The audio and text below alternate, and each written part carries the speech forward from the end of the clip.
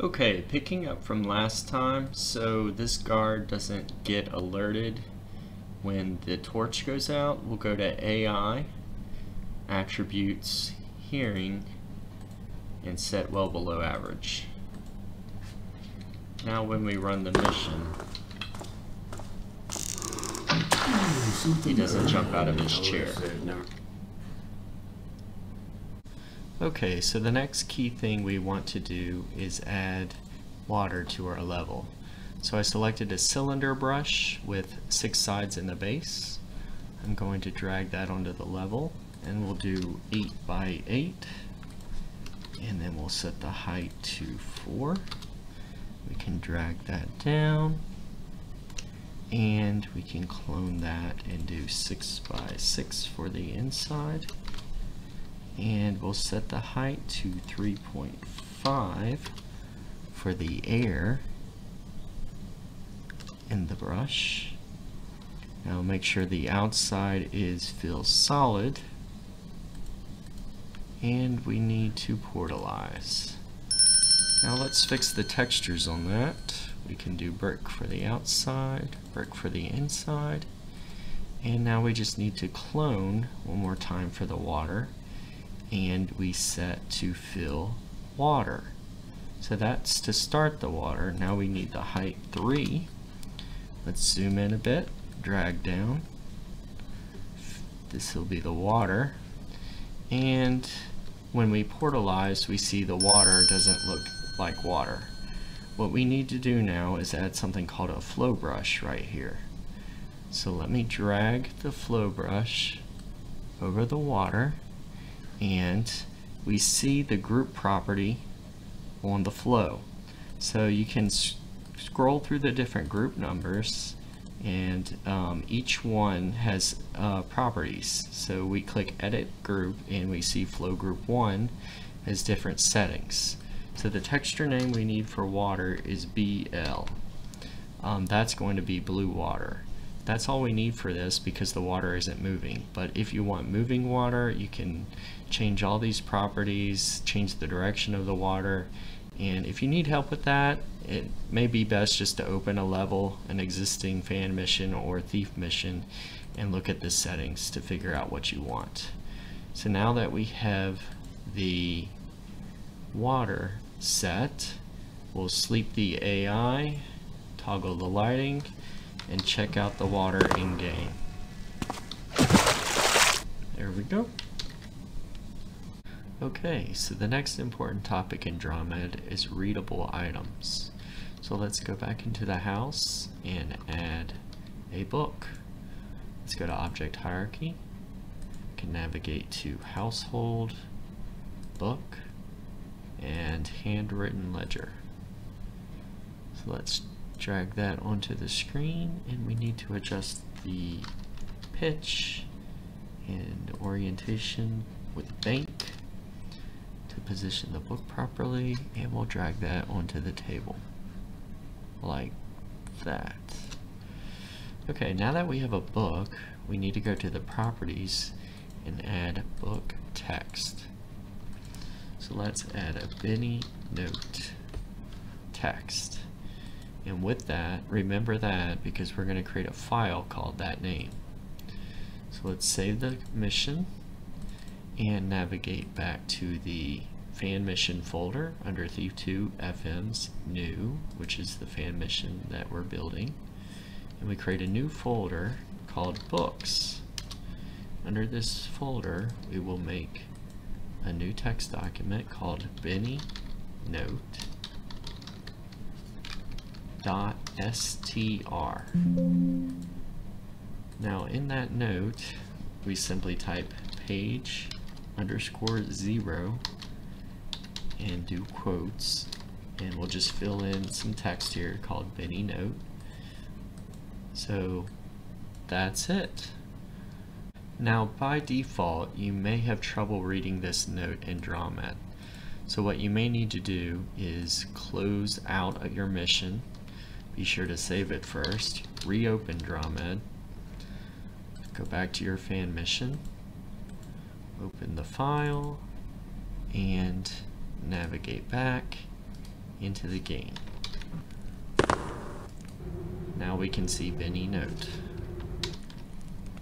Okay, so I have some text here saved off to the side that I want to add to this note. I'm going to replace the text with more detail. Go back into the game, and now you can see the full notes that we want for the mission. And that's all. Okay, so the next key topic we want to look at is a secret. To do that, we'll create a secret in the floor. Let's drag a 2 by 2 brush. Um, let's move it down into the floor. Fix the height to 0.5. This will be a secret down here. Alright, let's um let's fill air, let's portalize. You know what, let's fix the texture here. What we can do is make this a wooden floor in this house. That would make more sense. And we need to cover this hole with a door. Let's select one from the object hierarchy. We'll go to terrain like, door, slidey door, and we'll go to a floor panel. So let's create that floor panel. Okay, I have positioned the floor panel over the hole and we want to position it 90 degrees. Go affect the shape, scale, we'll do 0.2 to make it flat. Now we need to add a switch to open it. So we can go to Gizmo, Switches, Lever, We'll do a torch lever. Create that. Let's go height about um, negative 2. And we will adjust the heading and put that on the wall. Now to make this torch switch control the door, we add a link of control device to the floor panel and on the floor panel itself we need to set it to frob inert everything in thief that you can highlight and click is called frobbable or you can frob it. So to make it to where you cannot interact with it you set frob inert. And finally to make this an actual secret we need to set the stats to hidden. So when it opens it registers that you found a secret and let's check that out good and you cannot click on it next under treasure swag jewelry gemstone we will put some treasure under the floor. We can clone it to have two. However, when you go into Thief, you can actually get that through the floor. We need to fix that. So let's add a new type of marker under FNORD marker, um, trap trig, teleport trap. We can create those under the floor where the gemstones are and move the gemstones away from this area to our blue room. And we add to the teleport trap control device to one gemstone and on the other link add uh, control device to the other. And on the switch, we set control device to the teleport trap.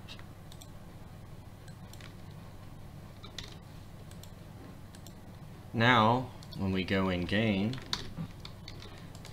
the gemstones aren't there, so we can't click until the player finds the secret. Okay, to save a little time, I added some airbrushes here. This one is 16 by 17. This one is 4 by 8 on height. This one is also the same size as this one. We're going to add um, a new brush here, depth 0.5, and we're going to put it on the side for a new portcullis to go in, which is a gate.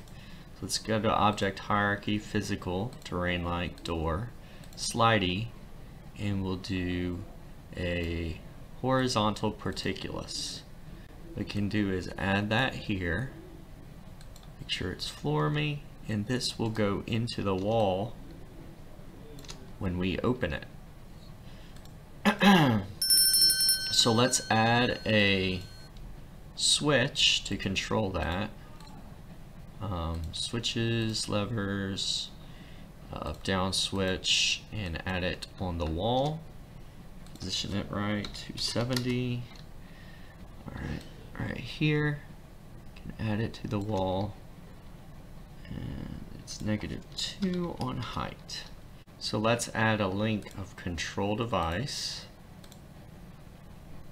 to the gate. And on the gate we will add meta property frob inert so the player can't open it directly and we'll test that out. Now I'm going to show how to align a texture. So what we want to do is press Alt T and add a new door texture to this wall. You see it's not lined up so what we want is to click Align Norm, Align Brush and get to Align Extend. Now you see on this wall it's not perfectly set. So what we want to do is kind of shrink this side to fit it right. Uh, and now we have it lined up on the wall. Okay, so the last concept for this video I want to show is brush timing. So I'm going to uh, select this airbrush here, which is time 11. That's when it was put onto the wall. I'll clone it and you see the time for the new one is 89. So let's adjust the depth to 1.5. We'll do the width at 5 and we'll do the height at 8.5 and we will drag it up a bit and now we do a fill solid for the border. Now because the timing of this brush comes after the previous one, uh, it overlaps that.